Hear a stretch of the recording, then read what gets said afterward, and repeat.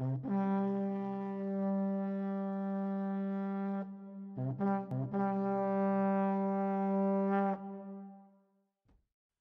the Sabbath and the Festival of Weeks, heathens. You need to have a festival where you all eat that bread without yeast. Yay! Don't do any work because you know what will happen. Just like Daryl. Stone you with stones until you are dead. Didn't Jesus get in trouble for healing people on the Sabbath? Didn't he say the Sabbath was made for man, not man for the Sabbath? Get out of here, Satan. That was the New Testament. This is the Old Testament. And these peoples, they need to learn. Lord Yahweh loves them, but only if they follow his rules. Lord Yahweh wants you to celebrate first fruits too. Lord Yahweh wants a sacrifice, some grain, two young bulls, one ram, and seven male lambs, flour and oil. Oh, and a male goat for atonement for your sins.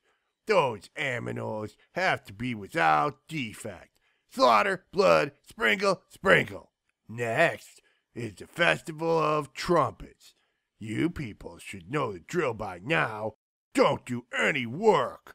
Lord Yahweh wants a bull, a ram, and seven male lambs for his sacrifice, plus flour and oil. Slaughter, blood, sprinkle, sprinkle. The smell is pleasing to Lord Yahweh. Next is Atonement Day. Yay, special day!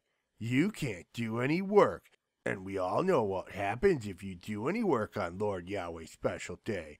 Stone you with stones until you're dead!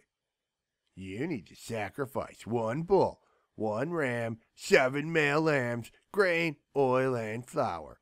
Slaughter, blood, sprinkle, sprinkle. Uh, this all seems awfully familiar to me. It's almost like we read all about these very celebrations in Slaughter Blood Sprinkle Fest back in Leviticus.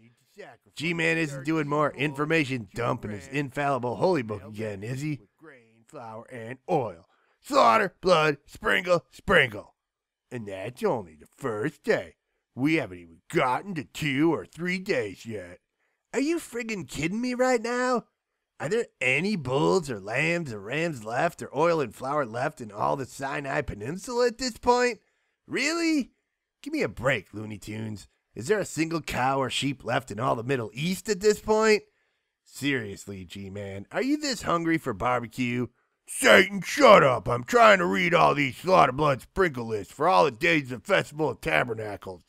It's a long list of bulls and rams and oil and flour, and the people need to know about this and read about it in Lord Yahweh's special infallible holy book forever and ever. Um, yeah, Moses, I hate to be the one to tell you, but like, these are the chapters that people are going to skip over when they give G Man's holy book so much as a nodding glance. Can we just skip over all this slaughter blood sprinkle, please? Come on, Looney Tunes.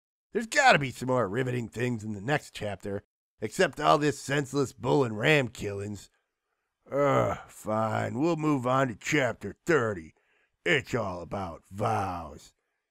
Ugh, you gotta be kidding me.